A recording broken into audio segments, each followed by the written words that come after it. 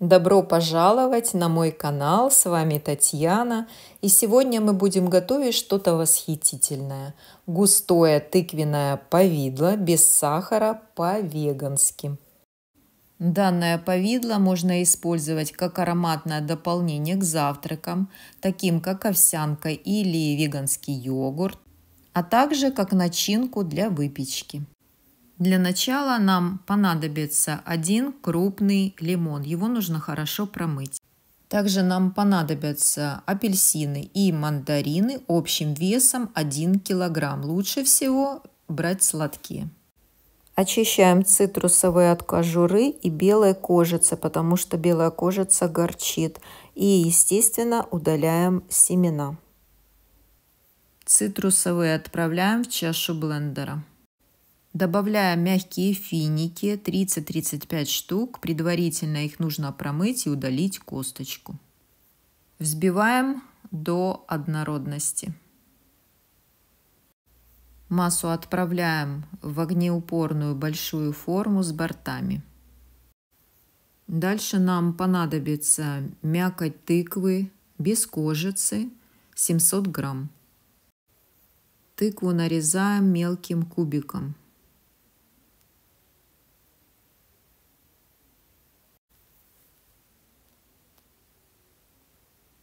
Так, тыкву отправляем в массу из цитрусовых. Перемешиваем хорошо.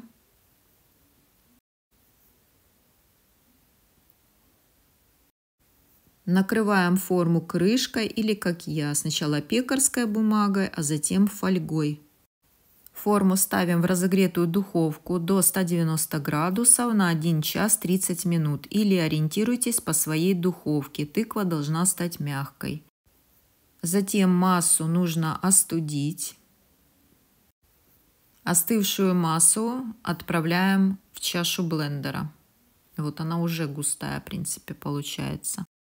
Взбиваем до однородности.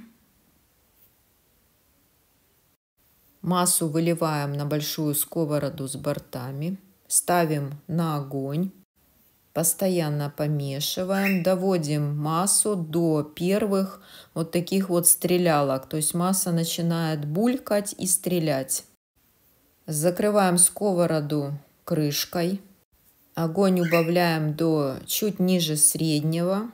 Между крышкой и сковородкой ставим ложку, чтобы выходил пар. Через каждые 3-4 минуты открываем крышку, перемешиваем и выпускаем основной пар. Итак, готовим 55 минут, как я уже сказала, периодически открываем крышку, выпускаем пар и перемешиваем. Без крышки не советую готовить, потом кухню не отмоете. Так, 55 минут прошло. Открываем крышку.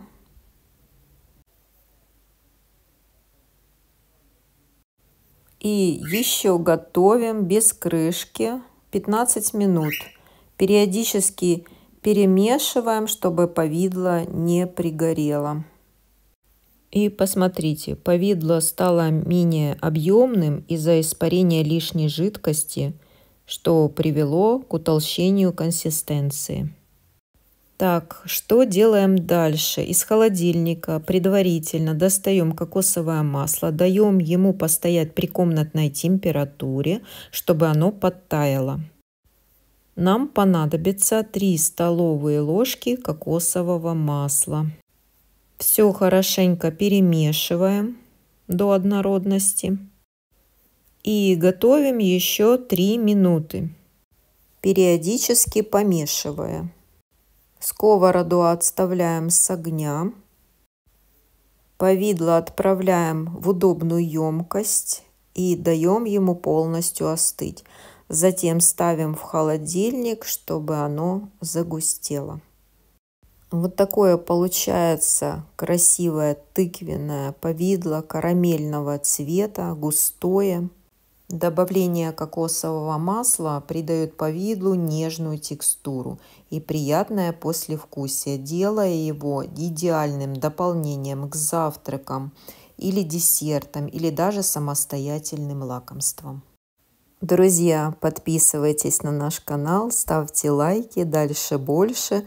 А я с вами прощаюсь. До новых встреч на моем канале. Всем пока.